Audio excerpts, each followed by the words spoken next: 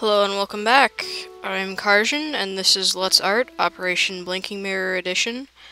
Um just a reminder, this is on the same day as the last video, so again, if you hear strange cracks and pops, that's my neck protesting. Um so I'm pretty much finished with almost everything um, with the initial outlines and the like. I just, well, I haven't done the two trees that I roughed in in the background, but that's okay. So, the first thing I'm going to do is make a complete duplicate, make a new folder, and hide all of that and rename this to, uh, let's see, line backups. Um, I'm a teensy bit paranoid about about things. So, as I start because at this point, I'm going to start erasing and refining my lines. So I make a full backup of the sketch lines in order to, I guess, preserve what I had initially done, just in case I do something absolutely absurd and um, and I cannot backtrack far enough to make it make it better.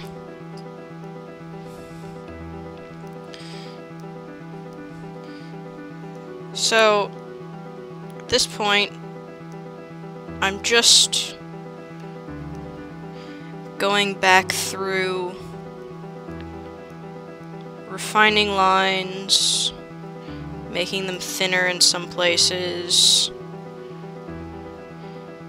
editing out mistakes I've made.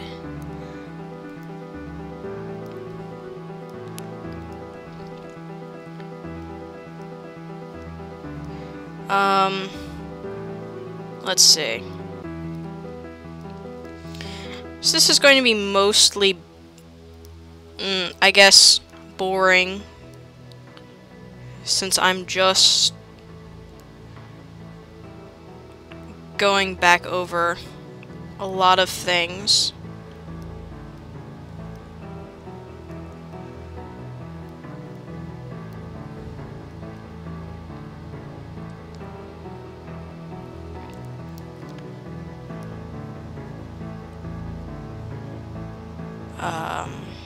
So I guess I should find something to talk about.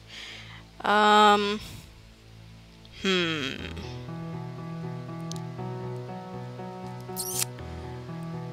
Hmm. Talking subjects. Oh dear.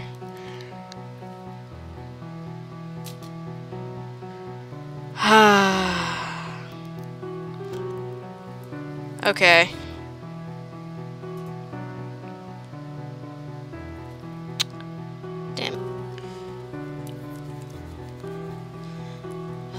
Welcome back. Um, I'm Karjan, and this is Let's Art, Operation Blinking Mirror Edition. Um, so, I've now finished most of the initial lines, so now I'm going to duplicate everything, create a new group, drop all of the copies into it, close the group, and turn it off. And name this initial lines backup.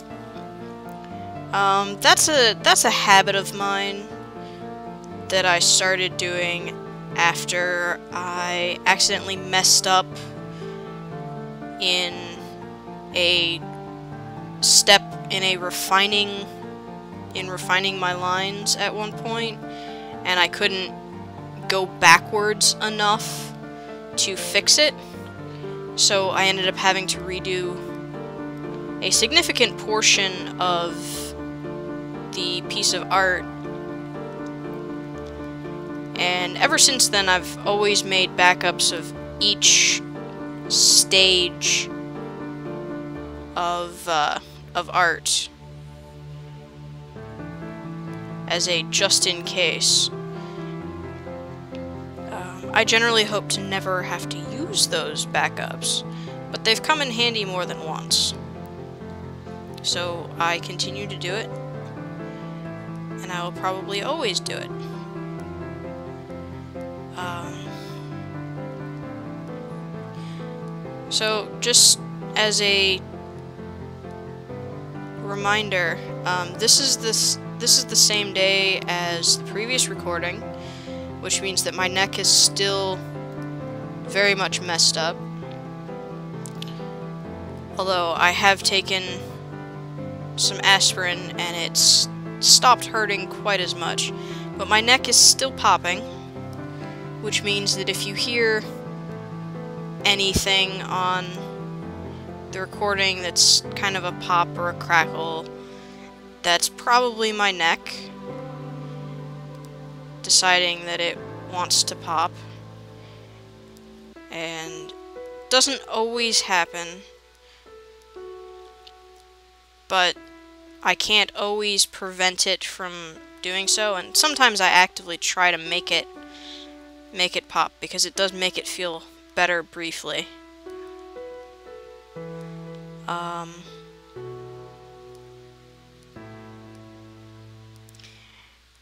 anyway, what basically at this point I'm just going through and refining my lines and getting it to where I am satisfied.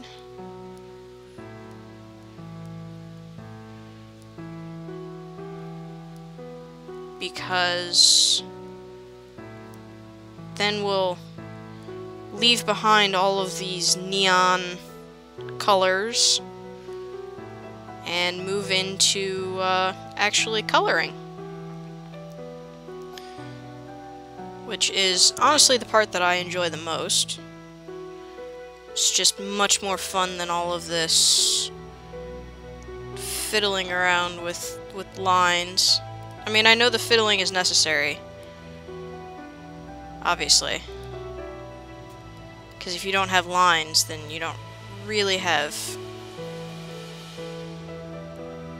Don't really have anything to go off of when you actually start coloring.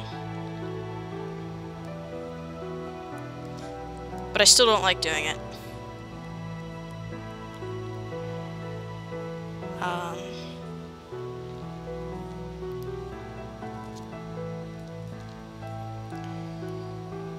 Uh, let's see.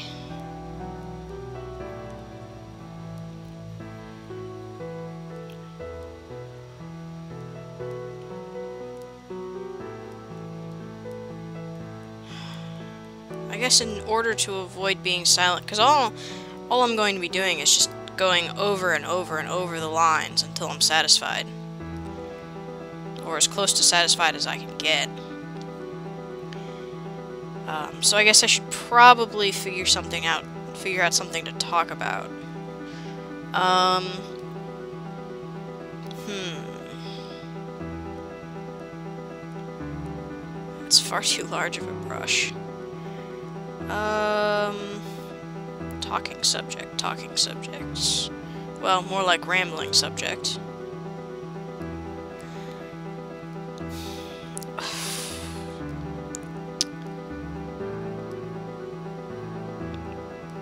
you'll notice that I have a tendency to do that a lot. I will accidentally change change my brush, change my erasing brush, and then think that I'm think that I have it set to uh, set to coloring, and I'll accidentally erase pieces of pieces of the lines, pieces of the line work. Um, he's actually got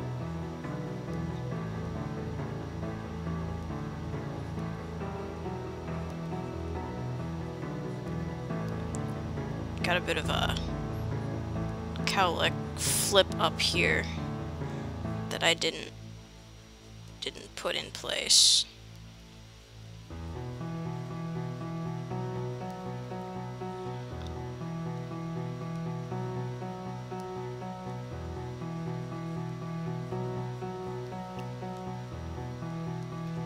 There we go. Now let's refine these lines back down. Um, hmm. And this is why I don't talk much in real life. Because I never know what to talk about.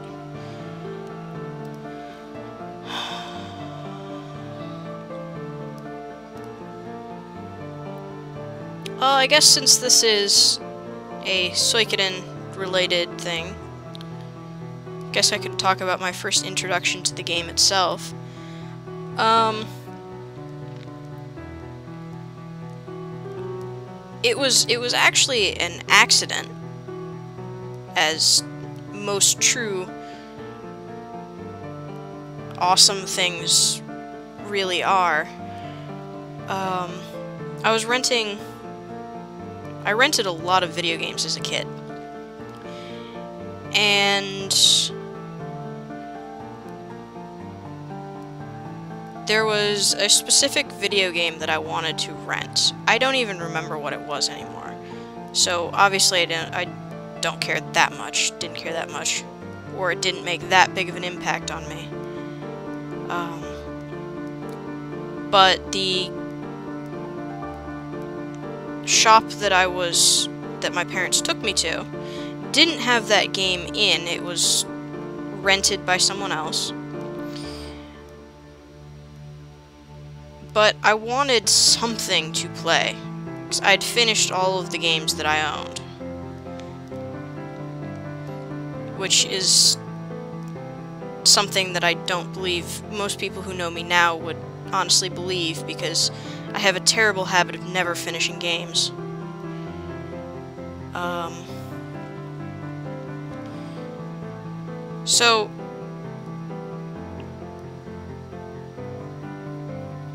I start looking around at the available games, and I see this one called uh, Suikoden 3. And I look at it and I'm like, well, maybe this this would be an acceptable game to play. I wasn't really sold on it. You know, it looked a bit odd to me at the time. I don't even remember how old I was. Um, but I was like, okay, I'll I'll give it a shot. There's there's nothing else here that really interests me. So I'll give it a shot. Next thing I know, I'm, I'm sitting there in my computer slash gaming room and I'm playing this game and I just cannot put it down. And it was a five day rental. And playing this game through, I'm playing this game through, I'm playing this game through. I'm having so much fun playing this game through. That when it ends up being that, you know, renting time is five days are out, and, you know, it's time to return it, I, I basically tell my mom, yeah, I don't want to... I, I haven't finished this game yet, blatant lie. I already had finished it, at least once. Um, I want to rent it again. So... I get the game again. And I play it through again. And I don't remember how many times I went back to that game. Um, I just kept coming back to it, kept playing it. and all of my all of my um, PlayStation 2 cards have multiple save files for Suikoden 2. I don't know how many, or Suikoden 3 rather. I don't know how many save files I actually have from that game. Because I would just keep doing it over and over and over again. And I would always make a new always make a new save. I'd never delete never deleted my old saves.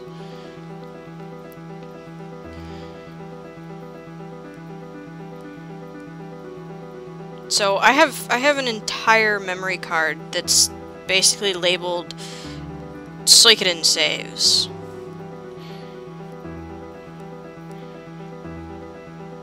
And that was my first introduction to the entire series. I was like, this is the best game ever. It's awesome. I like these characters. I like, you know, I like all of this stuff. And actually, if, if you've played the game, you know that it has a, uh, a Trinity system, where you're following the three, you're following the three potential main characters. Well, I always liked, I always liked Geddoe best, the mercenary captain. I always liked the mercenary captain best his, you know, he was older, kind of stoic, generally had a, a more worldly view on things. So the first time I played the game through, I played through his chapters first. And I kind of ended up getting this sort of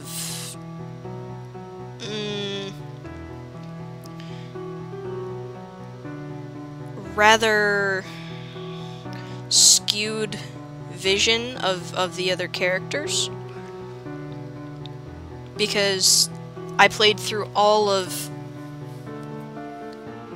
all of the Mercenary Captain's chapters. 1, 2, and 3. I played through them straight instead of doing all of the chapter 1s and then all of the chapter 2s and then all of the chapter 3s. And then I decided that Hugo interested me more between the other two characters.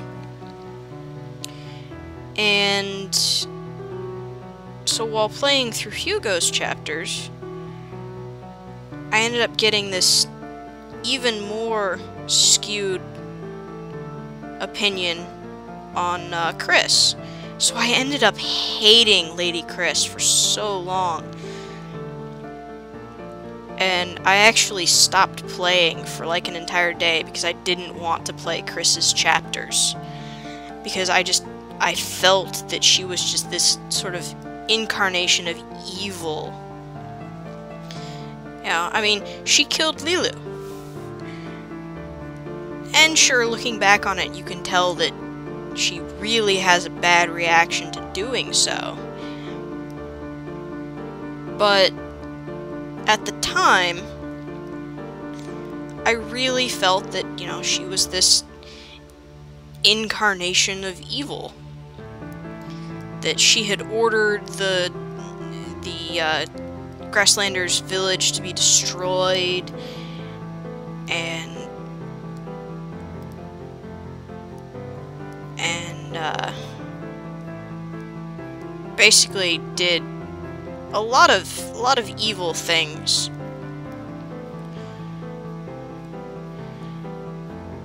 But then I played through her chapter and it was like, you know, she's not quite as bad as I thought. She's a little bit prissy.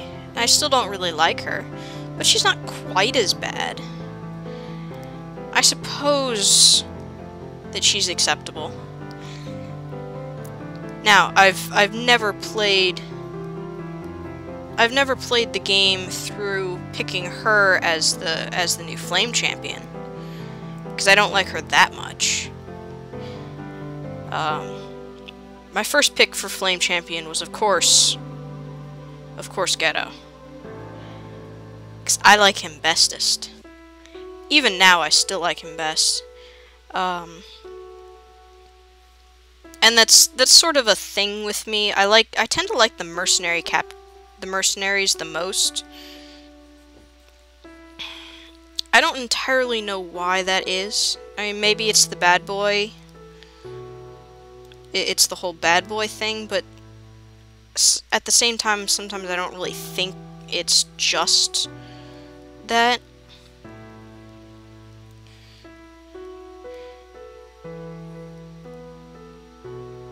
A lot of it is probably to do with, um,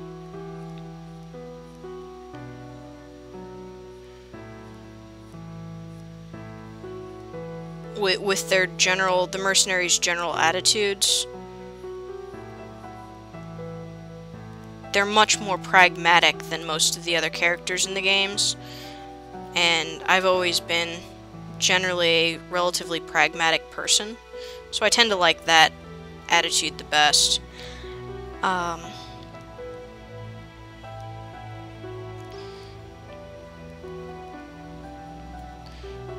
so anyway, you can see that I'm actually erasing erasing lines like where it's hidden by the hair. And that's the fact that I'm erasing the lines completely is part of the reason why I make a full duplicate of everything as a just-in-case measure. So that I can pull bits and pieces out in case I ever need them again. Oops. Also, oops. Don't want to mix that up. I mean, if it's just something simple like that, then yeah, I'll just redraw it, but...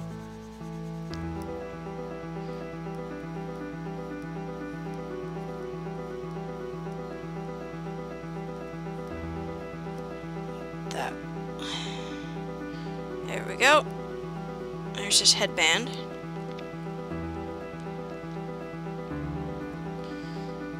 Um...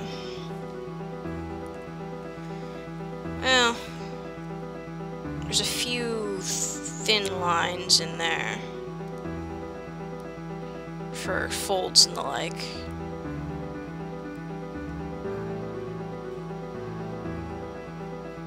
Because it is cloth.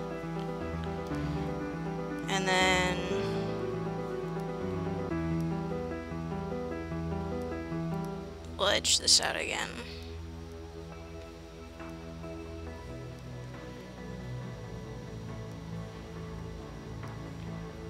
make it a bit thinner like that. Okay.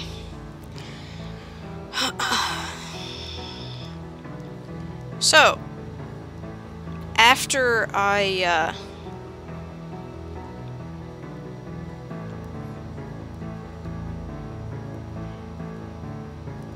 after my mom finally convinced me that I couldn't rent the game anymore because, you know, other people other people may want to rent it as well. Whoops. What shape is that? It's kind of a triangle-y... triangle shape. Right there. Um... I ended up receiving the game for Christmas because my parents saw that I still really liked it and I still wanted to continue playing it.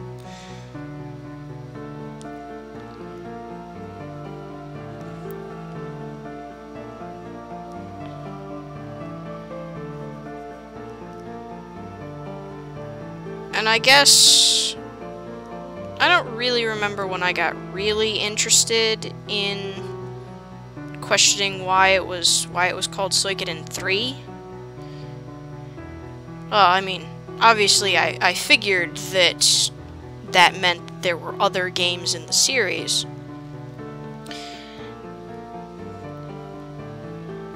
But I'd always sort of had this opinion that Oh, I forgot his turtleneck. Okay, you can't really see it based on the way his head is turned. But he's got a yellow turtleneck underneath everything. So, that has to go there. Um...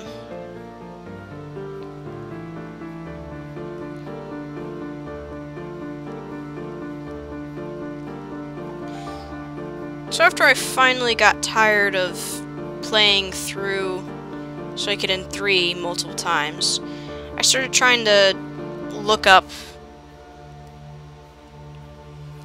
look up uh, the other Suikoden games. You know,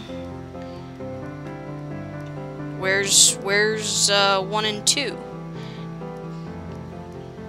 They were never on offer in the game in the game store for uh, rent because they're PlayStation 1 games, and by the time I'd found the Suikoden series, it was well past the era of uh,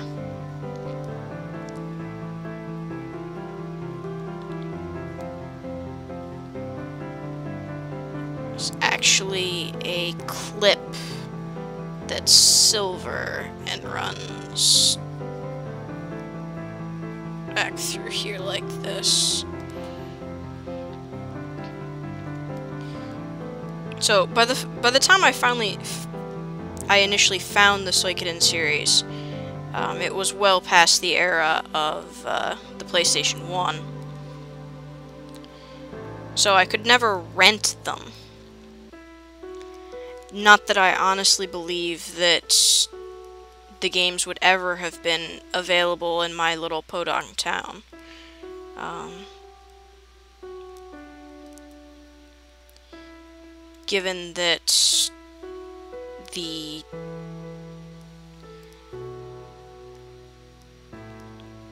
for for most of my childhood I believed that having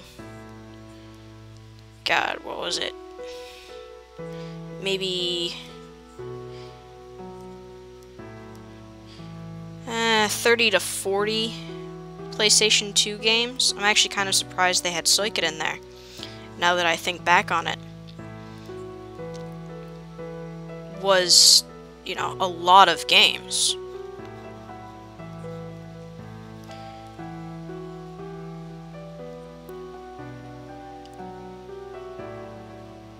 Okay. So, you know, as as I said, I kind of doubt that they that the game store that the rental place that I went to would have had the Suikoden 1 or 2. But I had a fully I was fully capable of using the internet. And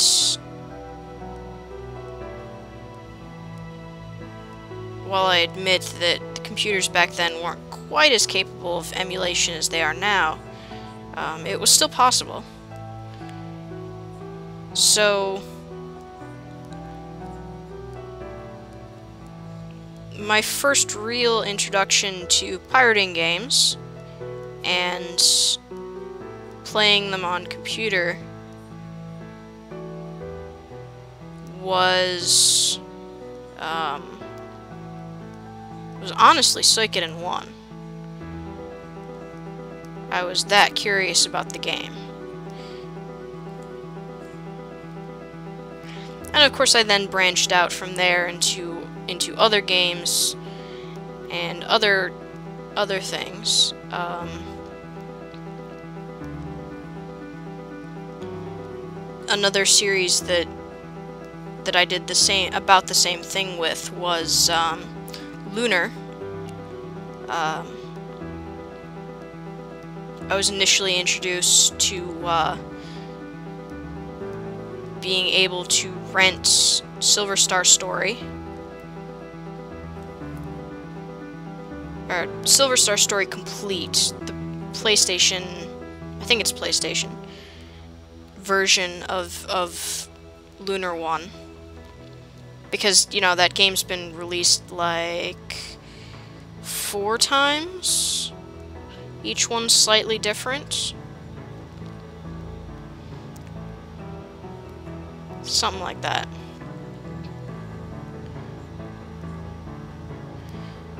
So, that was, Lunar was my second real piece of interest in, uh, in pirating.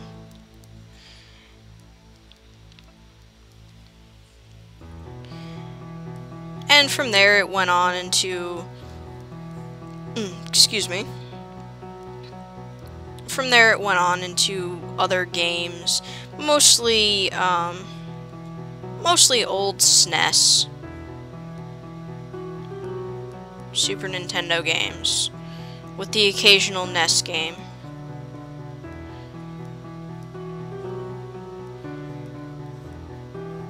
Because I just found it much more convenient to uh,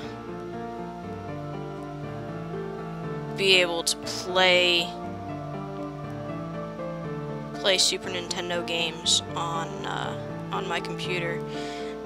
That and my actual the actual SNES that I had wasn't really mine, it was my brother's. So, I didn't really have a big collection of games for it. And when I first got into the the uh, pirating pirating shtick.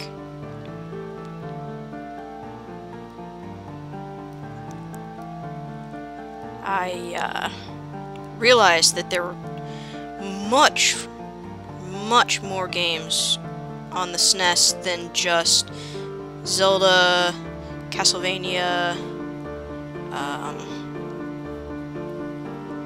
Arkrot, or uh, what's that game? Uh, it's the it's the city builder game. Well, not SimCity, although I had that as well. Um.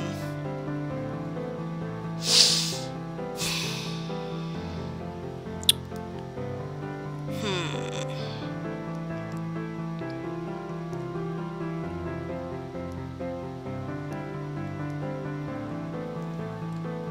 Uh, it's the game that switches between having to do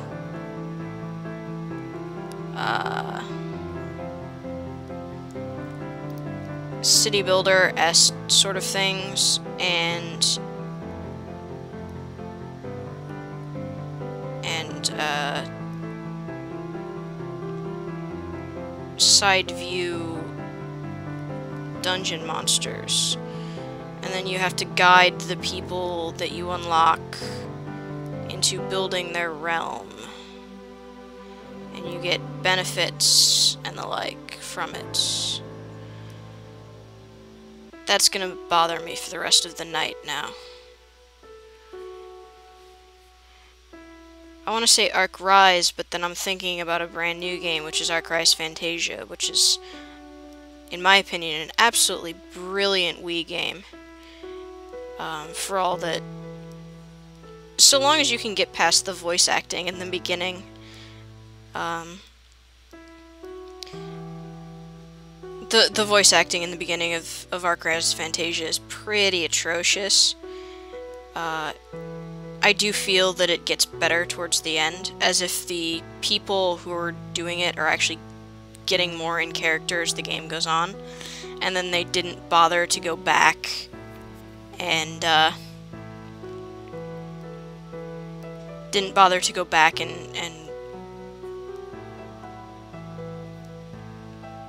recast those, like the first half, or the first third, I think, of the, uh, of the game. It's also a very uh, linear scripted game, but I really enjoyed the story in it. And for all the fact that I've been a gamer for most of my life, and have played RPGs for all of my life. Um, I didn't actually call a lot of the plot points which kind of surprised me, considering that I can usually call plot points from a mile away. Or at least it feels like that sometimes. So, you know, everything's usually fairly linear. I mean, looking back on it, it, it seems a bit obvious to me. But while I was in the middle of playing it, it, it definitely did not feel obvious. And I was left guessing about a lot more than I actually kind of feel comfortable admitting.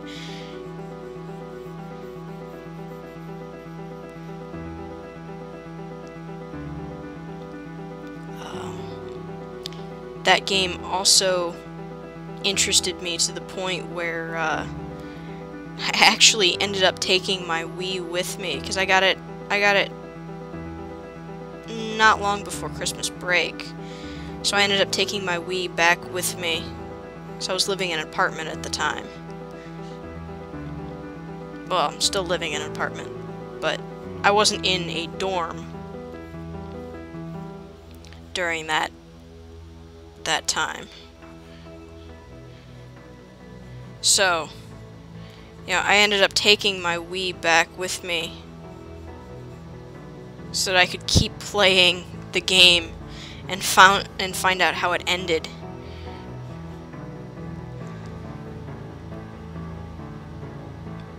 I think my parents were very amused at me at the time.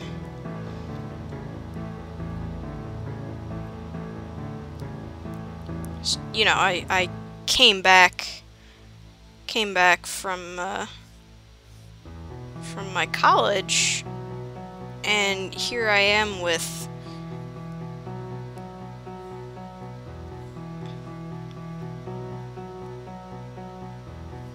with uh, with my Wii that I usually usually left it at uh, the place I'd call home.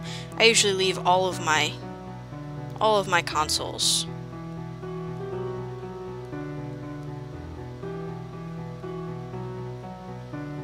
or put them somewhere else. You know, I don't usually take them with me because it's a little too much effort, in my opinion, for something that I'm usually not going to play.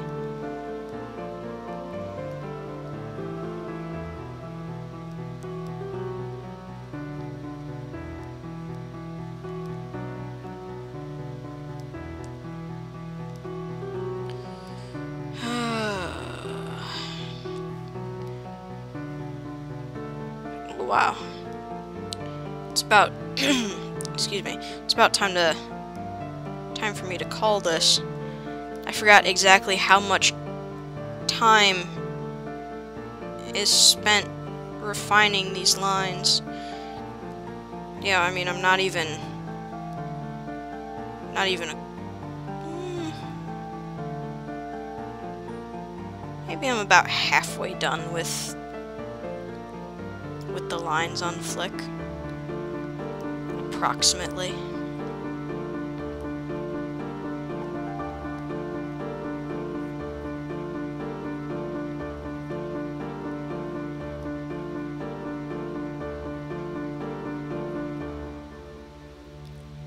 Add some... I'm pretty sure the wrinkles I'm putting in aren't actually properly placed, but can't really be arsed. I'm actually pretty bad at clothing. Pretty bad at a lot of things. At least in my opinion I am.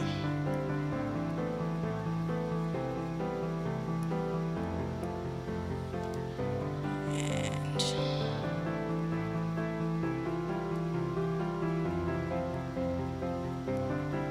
Just add that little touch of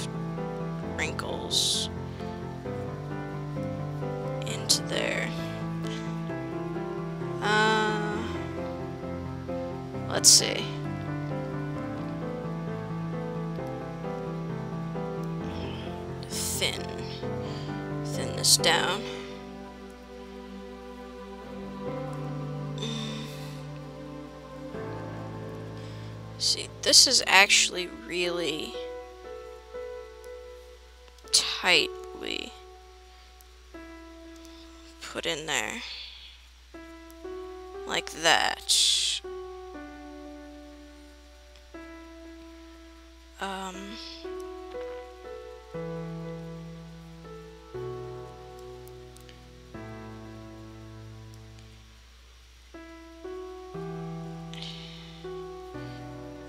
this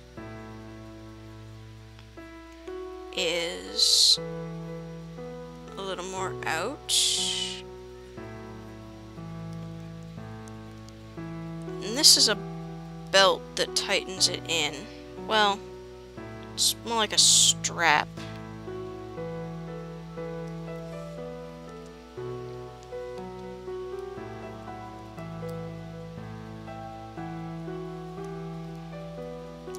Colors will significantly, as always, help differentiate the different pieces out.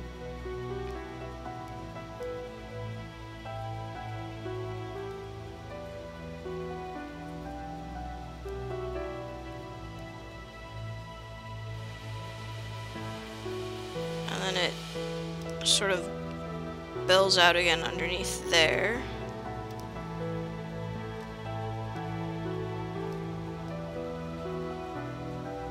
Because it's not being held tight.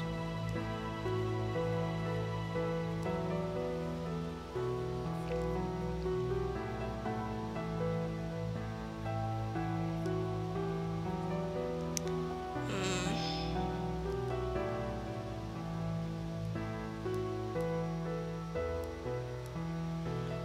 This needs to be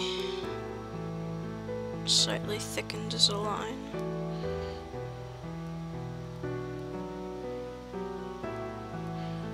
Trying not to make the lines too thick, but I'm also trying not to make the lines too thin.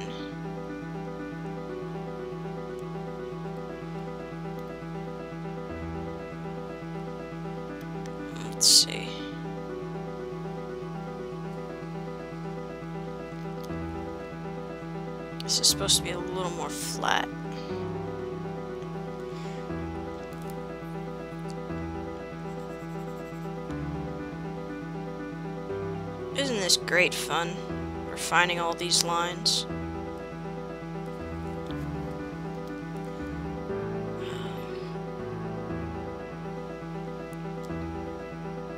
Yeah, this should actually be...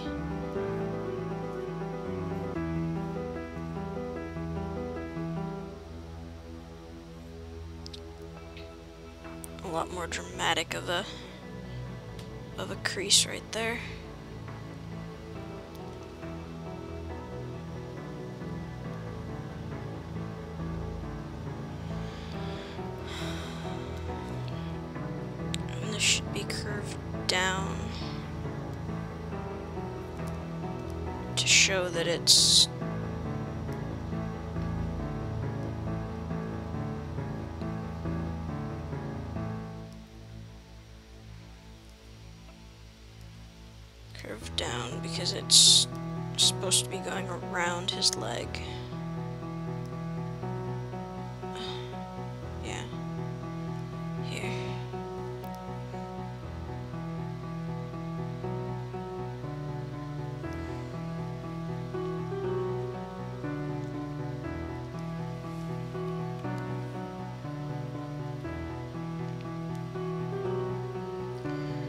Okay. I am going to call this here. It's actually looking fairly good. Considering what I started with. Um, and I'll see you next video.